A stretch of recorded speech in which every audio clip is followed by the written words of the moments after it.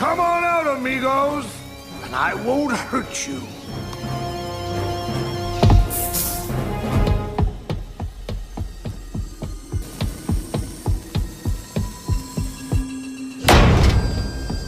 Just kidding.